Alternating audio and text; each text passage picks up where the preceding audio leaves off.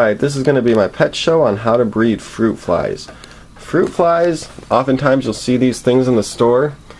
Some people might not even, you know, buy these or know what they're really supposed to be used for. Fruit flies are great. They're they're good for small lizards, like my current Rankin's dragons.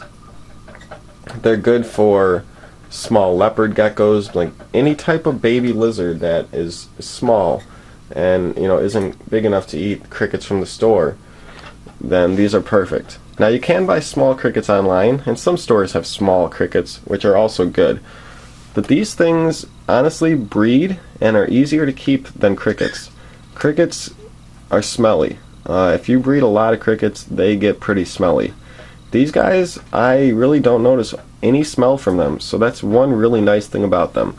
The only drawback to them versus crickets is crickets do get larger, so crickets can feed a, a larger variety of, of animals.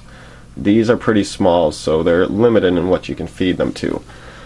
Some good things to feed them to are any type of small reptile or amphibian, uh, especially you know those, those poison dart frogs, perfect for those.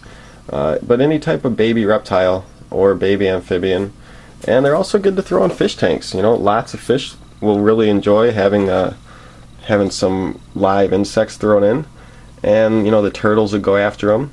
So they're really good for many types of pets, and they're really cheap because you can breed them non-stop for free, pretty much.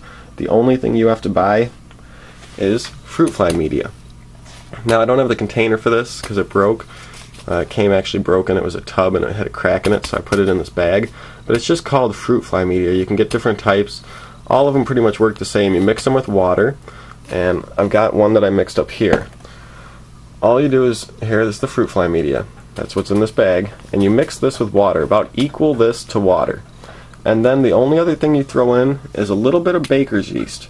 It'll tell you on this on the uh, instructions for your fruit fly media that you buy what to do. Mine said to add some baker's yeast, and most do. You get this at the grocery store. It's real simple to find there. If you can't find it, just ask somebody baker's yeast. You just put a couple pinches in, you know, like like a salt shaker. If it was like because it's kind of like grainy like that, I would say like you know two or three shakes of a salt shaker. Just just a little pinch of that. And basically, what we're making is one of these. As you can see, this has the media on the bottom. Now their media that they use is blue. The color doesn't matter. It's it's a different type of media, but it works. Inside here, they do have this red uh, thing. That's for them to climb on. I really should add something for them to climb on in here. Uh, I don't have anything in there. I might add something soon. I just made this one up. Um, so what you do is you you put in your your fruit fly media, you mix it with water, you put in your yeast, and then you add your bugs. And you buy this at the store.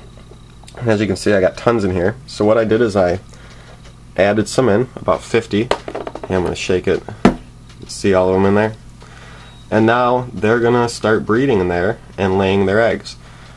And in about a week there'll be tons of maggots or larvae. And here is one that I made a week ago. This one you can't see through. I made it the exact same. It's made with the same product the fruit fly media I have with some baker's yeast.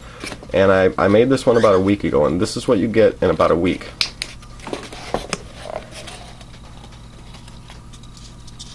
As you can see all of the maggots and there are tons in there. You really can't this doesn't really do it justice because there are thousands in here. You just can't see them all because most of them are down in the media. Most of the maggots will stay down in the food and they'll eat away at the food and then when they're going to start hatching into flies that's when they'll come up and stay on the sides. Seems like some went down too because I opened this up just a couple minutes ago and there seemed to be more on the sides so I think the light made them go down. But there are thousands.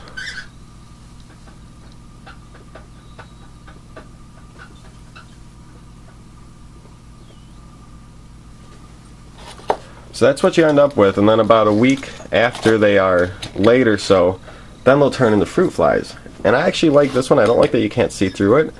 But what I did is I just put some paper towel in here to clog it out, but air can still get through.